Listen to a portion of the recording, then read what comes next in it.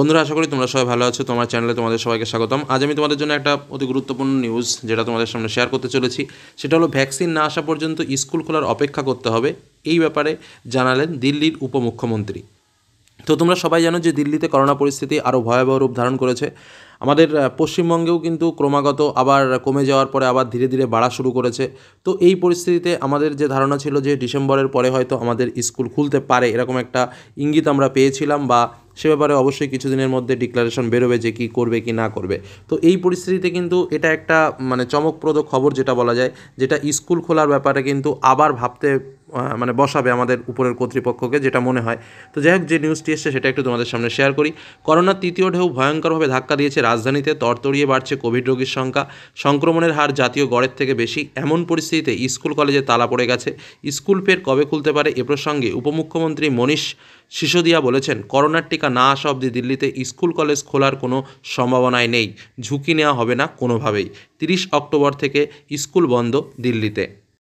সিসোদিয়া বলেছেন, সমস্ত school sanitise করা হচ্ছে, বাচ্চাদের কোভিড টেস্টও করানো হয়েছে, অভিভাবকদের সঙ্গে কথা বলা হয়েছে, কেউই ঝুঁকি নিয়ে বাচ্চাদের স্কুলে পাঠাতে রাজি নয়। যতদিন না কোভিড ভ্যাকসিন চলে আসছে, ততদিন অপেক্ষা করতেই হবে। অর্থাৎ দিল্লি যেটা আমাদের রাজধানী অঞ্চল, তো সেইখানে কিন্তু এই ডিসিশন কিন্তু নেওয়া হয়েছে। বর্তমান পরিপ্রেক্ষিতে, বর্তমান যে পরিস্থিতি রয়েছে সেই পরিস্থিতির সাপেক্ষে। এরপরে পরিস্থিতি বিচার করে সিদ্ধান্ত নেওয়া হবে। করোনা সংক্রমণ আচমকায় বাদ ভেঙেছে দিল্লিতে। দৈনিক সংক্রমণ রেকর্ড করেছে। একদিনে আক্রান্ত সাড়ে আট হাজার ছাড়িয়েছে। চিন্তার কারণ হলো মাত্র এক সপ্তাহে ভাইরাসের আক্রান্তের সংখ্যা একান্ন হাজার ছাড়িয়েছে। মোট সংক্রামিত পাঁচ লাখের বেশি।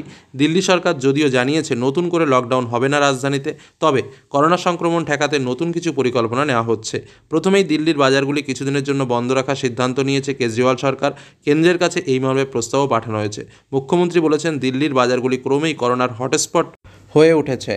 মাস্ক না পরে সামাজিক দূরত্ব না মেনেই সেখানে ভিড় করছে লোকজন। সংক্রমণও তাই বেশি জনের মধ্যে ছড়িয়ে পড়ছে।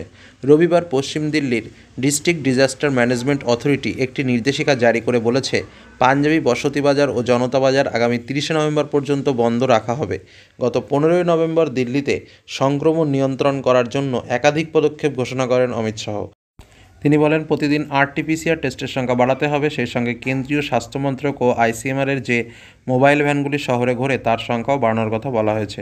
এদিকে মাস্ক না পরলে দু হাজার টাকা জরিমানা ঘোষণা করেছে কেজরিওয়াল সরকার। দিল্লি সরকারের বক্তব্য, ইন্ডিয়ান কাউন্সিল অফ মেডিকেল রিসার্চের উদ্যোগে রিয়েল টাইম আরটিপিসিআরের টেস্ট এখন বেশি হচ্ছে দিল্লিতে। মোবাইল ভ্যানে বাড়ি বাড়ি ঘুরে নমুনা পরীক্ষা করছেন স্বাস্থ্যকর্মীরা। কোভিড সেন্টারগুলিতে অক্সিজেন সিলিন্ডারের সংখ্যা বাড়ানো হয়েছে। ছত্তরপুরের সবচেয়ে বড় কোভিড সেন্টারে দশ হাজার বেডের ব্যবস্থা রয়েছে। প্রয়োজনে সেখানে বেডের সংখ্যা আরও বাড়ানো হতে পারে। শীতের সময় ভাইরাসের সংক্রমণ বাড়ার আশঙ্কা রয়েছে দিল্লিতে, তাই সব রকম প্রস্তুতি সেরে রাখা হচ্ছে বলে জানিয়েছেন মুখ্যমন্ত্রী অরবিন্দ কেজরিওয়াল। তো এই হলো মোটামুটি যেটা আমরা পেলাম, সেটা হলো দিল্লির খবর। তো এই মুহূর্তে দিল্লিতে স্কুল বন্ধ এবং সেখানকার উপমন্ত্রী, উপমুখ্যমন্ত্রী পরিষ্কার জানিয়ে দিয়েছে, ভ্যাকসিন না আসা পর্যন্ত কিন্তু স্কুল খোলার জন্য অপেক্ষা করতে হবে। তার মানে পরিস্থিতি কিন্তু আস্তে আস্তে ভয়াবহ হতে চলেছে বা ভয়াবহ হয়েছে দিল্লিতে। আমাদের পশ্চিমবঙ্গের পরিস্থিতি অতটা উদ্বেগজনক না হলেও ক্রমাগত কিন্তু করোনা বেড়ে চলেছে বা করোনার যে অ্যাটাক সেটা কিন্তু বেড়ে চলেছে।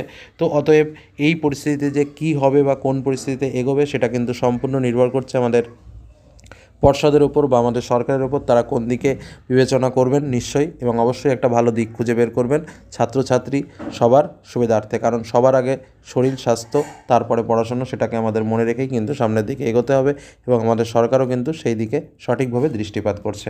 তো এই হলো মূল আলোচনা। ভালো লাগলে লাইক করো, বন্ধুদের সঙ্গে শেয়ার করো। যারা চ্যানেলে নতুন এখনও সাবস্ক্রাইব করনি, অবশ্যই সাবস্ক্রাইব করে রেখো। ধন্যবাদ।